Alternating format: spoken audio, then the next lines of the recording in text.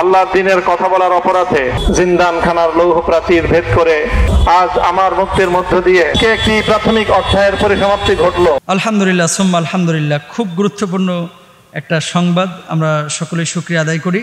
আল্লামা মনুল হক হাফিদহুল্লাহ, শেখুল হাদিস, ইবনে শেখুল হাদিস, তিনি মুক্তি পেয়েছেন এবং ইতিমধ্যে আমাদের কাছে এ বিষয়টি এক ভাই জানালেন।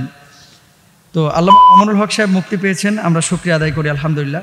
হুজুরের সাথে গতদিন যে গত রাতে যে ঘটনা ঘটেছে, আমরা অনেকে আগ বাড়িয়ে অনেক কিছু পোস্ট করেছি এবং আমরা বলছিলাম যে ওয়েট অ্যান্ড সি দেখা যাক শেষ পর্যন্ত কি হয়, আল্লাহ তালা মুক্তির ব্যবস্থা করেছেন।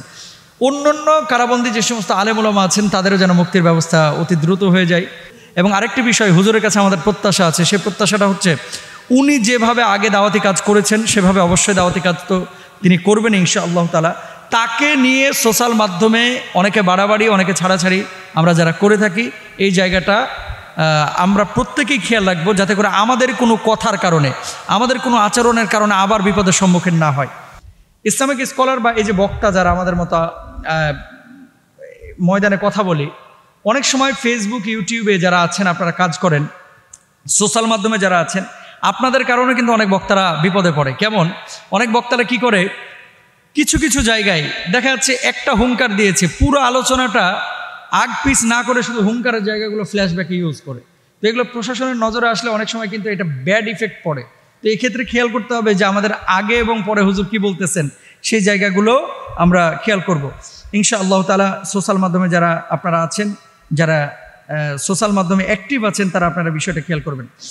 আর হুজুরের সাথে আমার ব্যক্তিগতভাবে অনেক আগে থেকেই পরিচয় আছে। তিনি অত্যন্ত ভালো মানুষ, অময়িক মানুষ এবং পলিটিক্যাল কোনো বিষয় থাকতে পারে, সেই বিষয়গুলো তো আসলে আমরা ছোট মানুষ।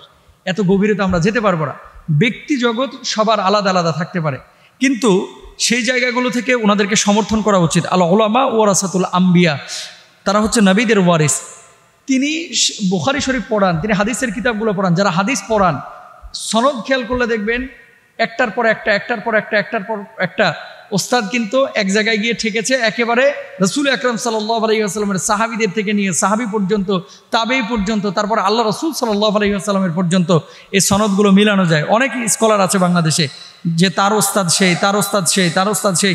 এভাবে ইমাম বুখারি রহমাহুল্লাহ পর্যন্ত ঠেকেছে, তারপরে সেখান থেকে আল্লাহ রসুল সাল্লাহ আলাইসলাম পর্যন্ত ঠেকেছে। তো ওনারা হাদিসের দাস দিয়ে থাকেন এবং মহাদ্দিস তারা হচ্ছে নবীদের ওয়ারিস। আলেমদেরকে ভালোবাসলে আল্লাহ সুবাহানুয়া তালা খুশি হন এবং আলেমকে ভালোবাসা বলে নবীকে ভালোবাসা। নবীকে ভালোবাসা মানে আল্লাহ সুবাহানুভাতালাকে ভালোবাসা। সবসময় আলেমদের প্রতি আমরা ভালো ধারণা রাখব এবং তাদেরকে মহব্বত করব। আল্লাহ তালাকে মহব্বত করা হবে ইনশা আল্লাহ তালা আর ওস্তাদের ব্যাপারে আপনাদের কাছে বিশেষ করে যেহেতু এটা সোশ্যাল মাধ্যমেও যাবে আলোচনাটা, অনেক সময় ইসলামিক স্কলাররা এই যে আল্লামা মামুনুল হক সাহেব বলেন, খালিদ সাইফুল্লাহ আইবি বলেন ডক্টর মিজানুর রহমান আজারি সাহেব বলেন, আমাদের মতো কিছু ছোটোখাটো যারা ভাইরা আছি, মাহফিলে যায় যাওয়ার পরে কমিটি কিছু কথা বলে। কেমন? হুজুর, আজকে কিন্তু কাঁপায়া দিতে হবে। হুজুর, আজকে কিন্তু গরম ওয়াজ করতে হবে। এই যে কাঁপানো, ভূমিকম্প তোলা, গরম ওয়াজ করা, এগুলো আপনারা কোনো বক্তাকে বলবেন না, প্লিজ। আপনারা বলবেন যে কোরআন হাদিস থেকে স্বাধীনভাবে নিট অ্যান্ড ক্লিন কথা বলেন। এ কাঁপানো, ঝাঁকানো, ভূমিকম্প তোলা, গরম করা, এগুলো অনেক সময় বলে বক্তার উপরে প্রেশার ক্রিয়েট করেন। যে ঢাকা থেকে নিয়ে এসেছি, হুজুর একটু গরম করতে পারল না। এই ধরনের আচরণগুলো আল্লাহ তালা আমাদেরকে যেন না করান, আমরা সবাই চেষ্টা করব। হুজুর মুক্ত বাতাসে এসেছেন, আল্লাহ তালা তাকে নিয়ে এসেছেন, তিনি আমাদের মধ্যে থাকবেন, ইনশাআল্লাহ তালা, তার হায়াতে রিজকে আইনমে আমলে বারাকাদান করেন। এই তিন বছর যে ক্ষতিটা হয়েছে, উনি ময়দানে না থাকার কারণে এই ক্ষতিটা পুষিয়ে আবার যেন তিনি দাওয়াতি ময়দানে কাজ করতে পারে। আল্লাহ সুবাহানুভাতালা সেই তৌফিক সবাইকে দান করুন। হক কথাগুলো যেন সুন্দরভাবে বলতে পারে। যখন নিউজটা শুনলাম যে তিনি জামিনে মুক্ত, তার মুক্তি কে না চাই যারা ইসলাম ফলো করে, ভালোবাসে, সবাই তো আমরা তার মুক্তি চাই। যে একজন আলেম, তিনি দাওয়াতি ময়দানে আবার ফিরে আসবেন, ইসলামী কথাবার্তা বলবেন, দাওয়াতি কাজ করবেন। যেমন আমি চাই, এদেশের কোটি কোটি তৌহিদি জনতা যারা ইসলাম মানে ভালোবাসে, তারা সবাই চায়, আমরাও চাই। ডক্টর আবদুল্লাহ জাহাঙ্গীর রহিমাহুল্লাহ একটা কথা বলতেন সব সময় যে এদেশের মানুষের ধর্মীয় আবেগ অনেক, কিন্তু ধর্মীয় জ্ঞান মোটেও নাই। সাড়ে নয়টার দিকে যখন দেখলাম যে ফেসবুকে ভাইরাল, আমি দু একজন বক্তার কমেন্ট বক্সে গিয়ে কমেন্ট করলাম।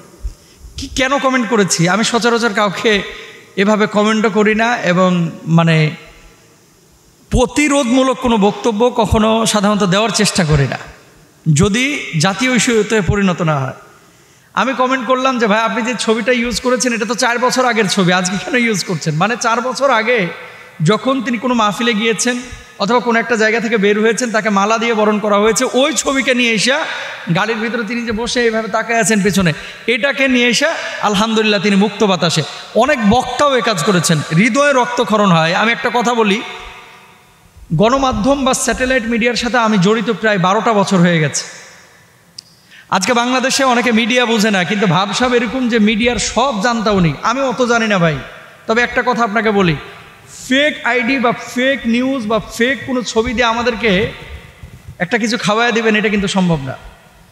যখন আপনি দেখবেন যে ওই কোনো মাহফিলে হয়তো বা হুজুর গিয়েছিলেন, গ্লাস খোলা গাড়ি দিয়ে যাচ্ছিলেন, সেখানে হাত নাড়াচ্ছিলেন।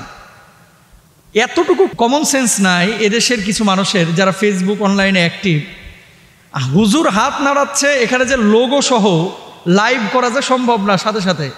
ধরেন, রোজ টিভি অথবা এক্স ওয়াই জেড কোনো মিডিয়া লাইভ দিল কোথা থেকে? আপনার কাশিমপুর কারাগারের সামনে থেকে। সাথে সাথে লোগো দিয়ে এইভাবে পুরন বা নতুন ফুটেজ ব্যবহার করে এটা যে এত ইজি না, আর একটা ছবি, যখন আপনি দেখতেছেন যে এখানে ঘোলাটে একটা ছবি বের হয়েছে তারপরে এখানে গাড়ির মধ্যে যেই জোয়ারটা, এরা আশপাশে কাশিমপুর কারাগারে কোনো কিছুই নাই। এরকম একটা লোগোযুক্ত পুরনো ছবি পাইলেন আর ধুমায়া শেয়ার করলেন যে তিনি বের হয়ে গেছেন, এই যে হাত নাড়াচ্ছেন। রাসুল সাল্লাহ আলহিহাসাল্লাম কি বলেছেন? কাফা বিলমার ই কাজিবান আই হাদ্দিসা বিকুল্লিমা সামিয়া কেউ মিথ্যাবাদী হওয়ার জন্য এতটুকু যথেষ্ট, যা সে শুনলো আর সাথে সাথে সেটাকে বলে বেড়ালো। আমাদের আজকে সমাজের অবস্থা কি? ফেসবুকে পাইছে আর যাচাই বাছাইয়ের কোনো দরকার নেই। ধুমায় শেয়ার করতেছে। কেন বললাম এই কথাটা? আপনি ইসলাম ফলো করেন, আপনি ইসলামিক স্কলার আপনি নিজেকে প্রকাশ করতেছেন, আপনি বড় একজন মানে শায়েখ, প্রকাশ করছেন নিজে যে একজন দায়ী আল্লাহ অথচ আরেকজন প্রকাশ করল সংবাদ, আপনার যাচাই নাই বাঁচায় নাই, জানা নাই, শোনা নাই, ধুমায়া শেয়ার করতেছেন। অবাক হতে হয়। কমেন্ট যখন করলাম যে পেজ এই ইয়া সংবাদটা ডিলিট করেন এখনও উনি বের হন নাই, আমাকে তো বোকা বানায় ফেলল। এখানে হামলিয়ে পড়ল আমার ওপরে যে আপনি একটু বেশি বুঝেন সবসময়। কেন? আমরা কাশিমপুর কারাগারের সামনে দাঁড়ায়, আমি বলছি, উনি কি বের হয়েছে? আমরা দাঁড়ায় আছি। আর বেটা, তুই দাঁড়ায় থাকলে কি বের হয়ে যাবে? বলার একটা উদ্দেশ্য আছে, কাউকে রাগ করে গুচ্ছা করে কথাগুলো বলতেছি না। আমাদের স্থানটা সাধারণ মানুষের সামনে কি বলেন তো? বা যারা ইসলাম ফলো করেন, আপনাদের স্থানটা একজন আওয়াম মানুষের সামনে কি? আপনার স্থানটা একজন আওয়ামের কাছে কিন্তু অনেক ঊর্ধ্বে। একজন রিক্সাওয়ালা মিথ্যা বলতে পারে, একজন ফকির মিসকির মিথ্যা কথা বলতে পারে, একজন জেনারেল শিক্ষিত, সুদখোর, ঘুষখোর, সে মিথ্যা বলতে পারে, একজন আলেম মিথ্যা বলতে পারে না। একজন আলেম হিতাহিত জ্ঞান হারাতে পারে না, যাচাই বাচাই ছাড়া। যেখানে পরিবারের সদস্যরা বলতেছে, এখনও বের হয় নাই। আর গণমাধ্যমের আল্লাহর আদালতে দাঁড়াইতে হবে ভাই, কিছু গণমাধ্যমকে ভিউ পাওয়ার জন্য যারা এই সমস্ত ফাতরামি করে। এই যে চার বছর আগের ছবি নিয়ে এসে, পাঁচ বছর আগের ভিডিও নিয়ে এসে যারা ছড়াচ্ছে ভিউ পাওয়ার জন্য এই টাকাটা কি আপনার জন্য হালাল হবে? কেন মানুষের সাথে প্রতারণা করছেন? হ্যাঁ মুক্তি আমরা সবাই চাই। উনি বের হয় নাই। আপনি যে টানা একেবারে, এই তো বের হয়ে গেছে। এই তো আলহামদুলিল্লাহ মুক্ত বাতাসে। সবাই চায় কিন্তু এখানে আপনি কি কাজটা করলেন? আমাদের আবেগের কারণে, আমাদের বিবেক কাজ না করার কারণে কিছু কিছু সময় অনেক আলেমোলামা খেসারত দিতে হয়। বাংলাদেশ জামাতে ইসলামের কিছুদিন আগে আমির সাহেব মুক্তি পেয়েছেন। আপনারা সকলেই জানেন। জামাতের সমর্থক কি বাংলাদেশে একেবারে কম? হেফাজতের চাইতে তো মানে দুই দলেরই আছে মানে জনসমর্থন। তো আমিরে জামাতের কি ভক্ত রক্ত ছিল না? কয়জন গিয়েছিল জেলগেটে পাঁচজন, সাতজন?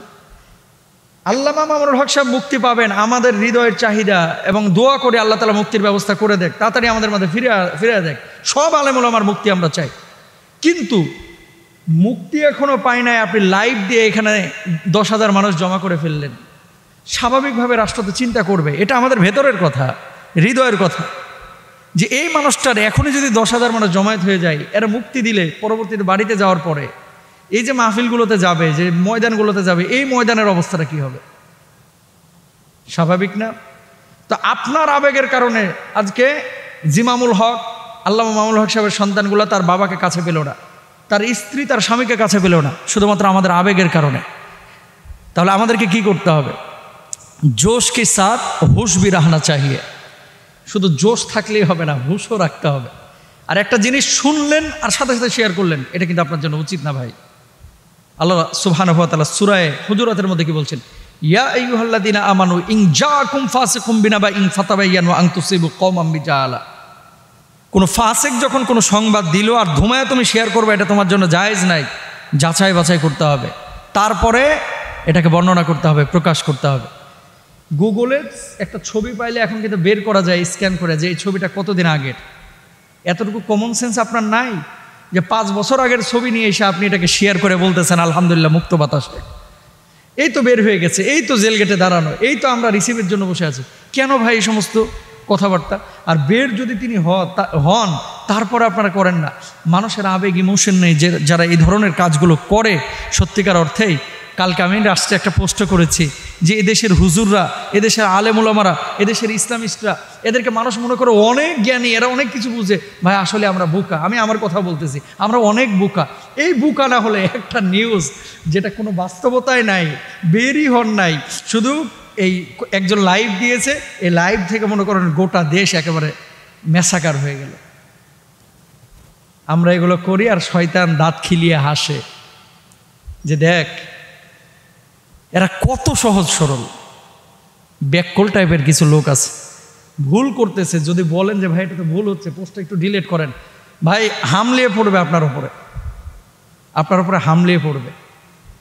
আবেগ দিয়ে নয়, বিবেক দিয়ে আমাদের ভাবতে হবে।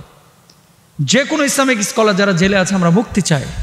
কিন্তু আমাদের আবেগের কারণে কেউ যেন ক্ষতিগ্রস্ত না হয়। কালকে উনার যে জেল থেকে বের হওয়ার পেছনে যেই প্রতিবন্ধকতা, এই প্রতিবন্ধকতার পেছনে মূলত আবেগ যোদ্ধারাই দেয়।